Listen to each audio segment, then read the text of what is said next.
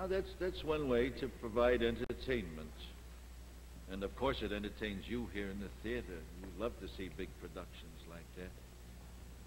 But when I'm sitting at home and I turn on the television and there's a lovely girl with a beautiful voice and a good song, I'd like to see her left all to herself, like this.